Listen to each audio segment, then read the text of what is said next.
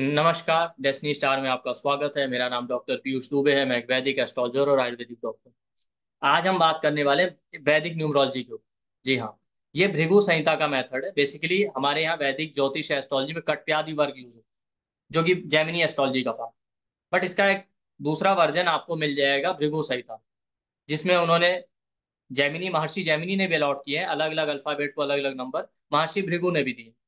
तो जो मैं आज मेथड बताने वाला हूँ, भृगु संहिता का पार्ट इसमें आप क्या कर सकते हैं अलग अलग अल्फ़ाबेट के अलग अलग नंबर दिए। तो आप किसी के भी नाम से, जो उसका डेली बेस पे जो नाम यूज़ करता है नेटिव या कोई इंसान जिसका जो डेली लाइफ में जो नाम यूज़ हो रहा है, उसके बेस पे आप प्रोडिक्शन कर सकते हैं। या आपके पास कोई क्लाइंट आता है तो बहुत सारे प्रश्नों का उत्तर दे सकते हैं, सिर्फ़ नाम के बेस पे। इसके लिए बर्थ डिटेल की ज़रूरत नहीं जैसे कोई क्लाइंट पूछता है कि, ये इंसान हमसे पैसे उधार मांग रहा है, देना चाहिए कि नहीं देना चाहिए? इसको पैसे उधार दे देंगे, वापस मिलेगा कि नहीं मिलेगा? इस तरीके का आंसर आप दे सकते हैं। आपको किसी इंस्टीट्यूट ऑर्गेनाइजेशन बिज़नेस का नाम चूज़ करना है सपोर्टिव होगा कि नहीं होगा, वो आप चूज़ कर सकते हैं। आपको अपने इंस्टीट्यूट ऑर्गेनाइजेशन या किसी काम के लिए कोई इंसान हायर करना है, कोई इंप्लॉय हायर करना है, किसी का भी सपोर्ट लेना है तो वो इंसान सपोर्टिव होगा कि नहीं होगा? किसी से फ्रेंडशिप करनी है पार्टनरशिप करनी है बिज़नेस पार्टनरशिप रिलेशनशिप तो आप देख सकते हैं वो नेटिव आपके लिए सपोर्टिव है कि नहीं, सिर्फ़ दो लोगों के नाम से। इसमें करना क्या होता है? अलग अलग अल्फ़ाबेट के लिए अलग अलग नंबर है जो मैं आपको बता दूँ। ठीक है? तो कोई भी नाम है, उसमें जितने अल्फ़ाबेट आए, उनके जो नंबर असाइन किए गए, वो आप नोट कर लीजिए। ठीक? उसके बाद उस नंबर को रिवर्स कर देना है।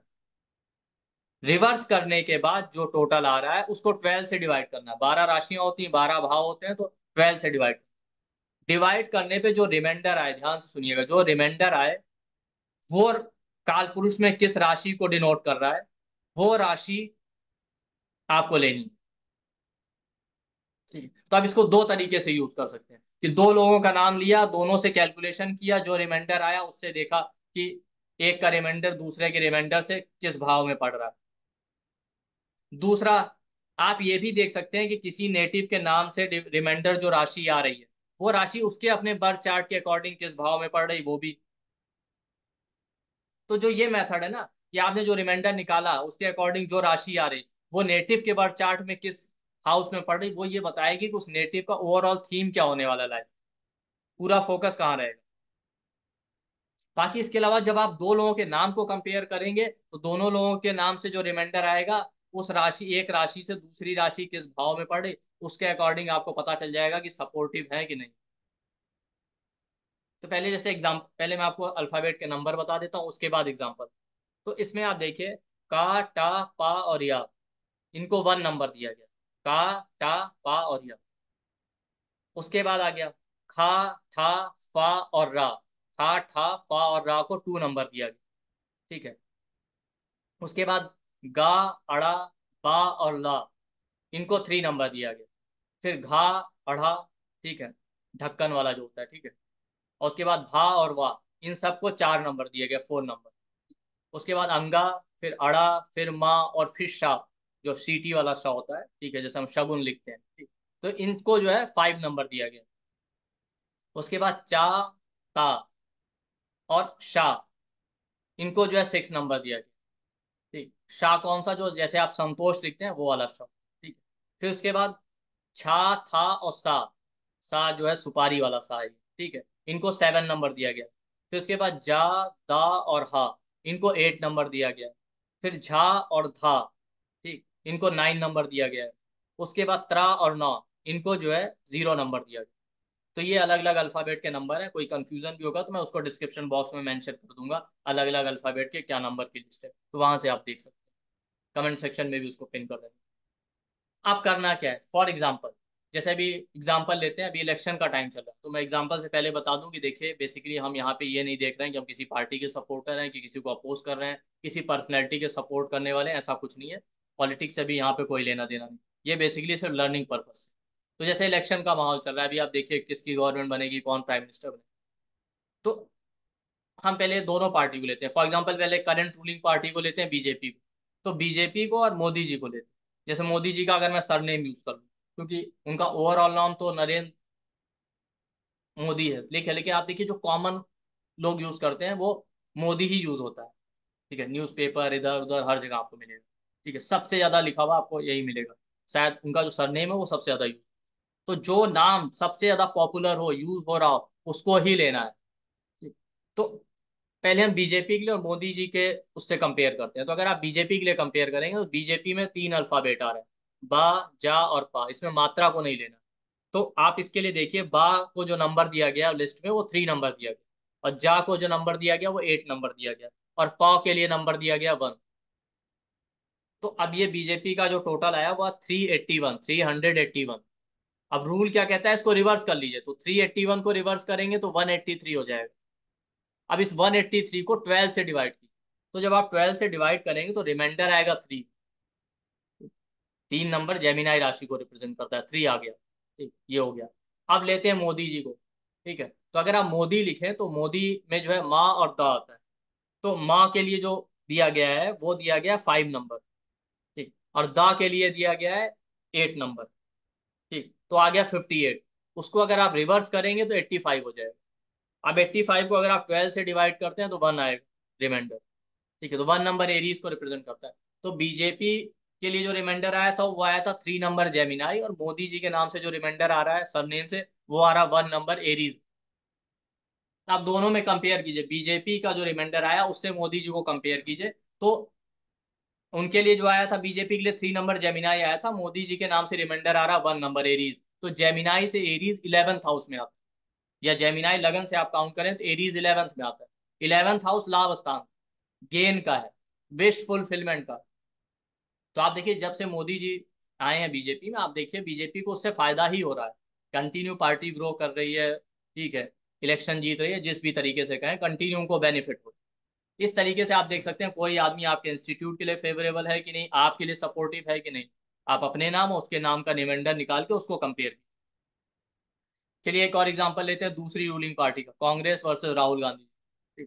तो अब आप देखिए, अगर कांग्रेस में जो अल्फ़ाबेट है, वह का गा और सा। मैंने कहा इसमें मात्रा नहीं लेनी, ठीक है? तो क जो अल्फ़ाबेट है, उसके लिए जो नंबर दिया गया, वो वन दिया गया। गौ के लिए नंबर दिया गया थ्री और सा के लिए नंबर दिया गया सेवन सा ये सुपारी वाला, ठीक है? तो टोटल आ गया one thirty seven one hundred thirty seven आया। इसको रिवर्स करेंगे तो सेवन हंड्रेड थर्टी वन आएगा। अब इसको ट्वेल्व से डिवाइड ट्वेल्व से डिवाइड करेंगे तो इलेवन आएगा तो इलेवन नंबर मतलब एक्वेरियस राशि।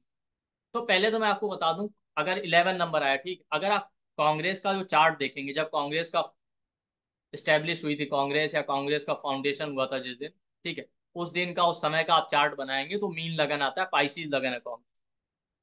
तो कांग्रेस का जो पाइसिस लगन है, वहाँ पे अगर कांग्रेस के नाम से जो रिमाइंडर आ रहा है, वो इलेवन आ रहा है इलेवन नंबर मतलब एक्वेरियस राशि तो मीन लगन के लिए वो एक्वेरियस राशि बारहवें भाव में आती है ट्वेल्थ हाउस तो ट्वेल्थ हाउस क्या बताता है? फॉरेन का तो कांग्रेस का जो स्टेब्लिशमेंट हुआ था, कांग्रेस जो बनाई गई तो बनाई गई, इसीलिए गई थी फॉरनर से लड़ने के लिए, अंग्रेज़ों से लड़ने के लिए, या फ्रीडम स्ट्रगल के लिए। तो ट्वेल्थ हाउस क्या फ्रीडम का है, मुक्ति का है, मोक्ष का है फॉरनर्स का है। फॉरनर से लड़ना था, देश को आज़ादी दिलानी थी फ्रीडम दिलानी थी। ये कांग्रेस का पूरा मोटिव था। कांग्रेस का ओवरऑल थीम भी यही रहा। तो ये तो आपने एक चीज़ देख ली किस तरीके से आप पूरा थीम देख सकते हैं। इसी तरीके से आप किसी नेटिव के बर्थ चार्ट से भी कंपेयर कर सकते हैं उसके नाम का जो रिमाइंडर राशि आ रही है वो किस हाउस में आ रही है। अभी भी आप देखिए ना, कांग्रेस पे जो ब्लेम लगता है लाइक मैंने पहले कहा इसको पॉलिटिसाइज मत कीजिएगा, ठीक है। जो भी आप देखिए अपोजिशन वाले ब्लेम लगाते हैं बीजेपी वाले, जो भी, कि ये फॉरेन से फंडिंग ले रहे हैं फॉरेन सपोर्टर हैं, या उनके लिए जो भी चीज़ें आती है, उसमें फॉरेन इन्वॉल्वमेंट ज़रूर होता है। आप इस इलेक्शन में भी देखिए कि बहुत सारे उनके लीडर हैं जो फॉरेन गए, कुछ स्पीच दे दिया, कुछ भी हो गया, कहीं ना कहीं कांग्रेस का पूरा थीम पॉजिटिव या निगेटिव वो फॉरेन सेंट्रिक तो फॉरेन का बहुत इंपॉर्टेंट रोल है। विदेशी ताकतों से लड़ना है, विदेशी ताकतों को भगाना है, ठीक है फ्रीडम दिलाना है फॉरेन से कनेक्शन आप देखिए जो उनकी मेन लीडर है सोनिया गांधी जी, उनका वो भी फॉरनर है। उनका भी फॉरेन से कनेक्शन मतलब उनका बर्थ प्लेस फॉरेन है, ये कहने का मतलब उसको अननेसेसरी मत लीजिए। तो ये हो गया। अब दूसरा देखते हैं, अगर राहुल गांधी जी का नाम है तो उनका जो सबसे पॉपुलर नेम यूज़ होता है वो राहुल, ठीक है। तो अगर आप राहुल से कंपेयर करें तो आप देखेंगे उसमें तीन अल्फ़ाबेट आ रहे हैं, रा, हा और ला। तो रॉ जो है, उसको टू नंबर दिया गया। हा को जो है एट नंबर हा को एट नंबर दिया गया और ला को थ्री नंबर दिया गया। तो आ गया टू एट्टी थ्री अब टू एट्टी थ्री को आप रिवर्स करेंगे तो थ्री एट्टी टू हो जाएगा थ्री हंड्रेड एट्टी टू उसको ट्वेल्व से डिवाइड तो उसको ट्वेल्व से डिवाइड करने पर टेन रिमाइंडर आएगा। ठीक टेंथ साइन क्या होता है? कैप्रिकॉन यानी मकर राशि। अभी हमने देखा था, कांग्रेस के नाम से जो रिमाइंडर आ रहा था, वो आ रहा था इलेवन नंबर एक्वेरियस राशि। राहुल गांधी जी के नाम से जो आ रहा है, वो टेन नंबर कैप्रिकॉन यानी मकर राशि। ठीक तो इलेवन नंबर यानी कुंभ राशि से मकर राशि बारहवें भाव में आता twelfth house twelfth house loss का है फॉरेन का। तो आप देखिए, राहुल गांधी जी के आने से क्या इम्पेक्ट पड़ा? है कांग्रेस का लॉस ही हो रहा है बेसिक मतलब आप ये कह सकते हैं, ये नेटिव इनके लिए फेवरेबल नहीं। तो इस तरीके से आप इस मेथड का यूज़ कर सकते हैं। किसी को पैसे उधार देने हैं, मिलेंगे कि नहीं मिलेंगे, कोई इंसान आपके लिए फेवरेबल है पार्टनरशिप फ्रेंडशिप किसी भी तरीके से इंस्टीट्यूट का नाम ऑर्गेनाइजेशन का नाम बिज़नेस का नाम रखना है, किसी को हायर करना है, कोई आदमी आपको सपोर्ट करेगा कि नहीं करेगा, ये सारी चीज़ में आपको इसमें मिलेंगी। तो ये बेसिकली भृगु संहिता का मेथड और बहुत ही इफ़ेक्टिव है। आप इसको यूज़ करेंगे, बहुत अच्छे से प्रोडिक्शन कर सकते हैं। और सबसे बड़ी बात यह है कि आप इसमें ये भी देख सकते हैं, किसी का आपके पास बर्थ चार्ट भी है, उसका जो करंट नाम है, उससे आपको पता चल जाएगा, जो रिमाइंडर आ रहा है, कि उसकी ओवरऑल लाइफ का थीम है फोकस किधर होने और सबसे अच्छी बात है कि इस मेथड में आपको जो है, उसकी ज़रूरत नहीं बर्थ डिटेल्स की ज़रूरत तो शेक्सपियर ने कहा था कि नाम में क्या रखा है? तो नाम में ही सब कुछ रखा है, आप ये समझिए नाम से आप बहुत कुछ कर सकते तो ये है, और नाम से इसके अलावा बहुत सारी प्रिडिक्शन की जा सकती है। किसी के नाम से आप उसका ओवरऑल लाइफ का थीम उसकी लाइफ में क्या क्या इवेंट होने वाले हैं पॉजिटिव होंगे कि निगेटिव होंगे, नाम से आप ये भी प्रिडिक्ट कर सकते हैं कि उसके नाम से आप कॉम्बिनेशन देख सकते हैं, कि उसके नाम से आप देख सकते हैं कि उसके चार्ट में क्या क्या कॉम्बिनेशन बन रहे होंगे। कितना राइज करेगा, क्या करेगा मैरिड लाइफ का थीम रिलेशनशिप का थीम आप नाम के ही बेस पे लाइफ के सारे मेजर इवेंट टाइम कर सकते हैं। नाम से आप ट्रांजिट चेक कर सकते हैं। इसके अलावा बहुत सारे स्नैपशॉट मेथड होते हैं इसमें नाम के बेस पे आप बता सकते हैं कि इस एज में ये इवेंट होगा, आपकी लाइफ में इस एज में ये इवेंट होगा, इस एज में ये इवेंट होगा। तो आप लोग इसको स्टडी कीजिए और टेस्ट कीजिए और अपना फीडबैक कमेंट सेक्शन में शेयर कीजिए और वीडियो को लाइक कीजिए चैनल को सब्सक्राइब कीजिए। थैंक यू नमस्ते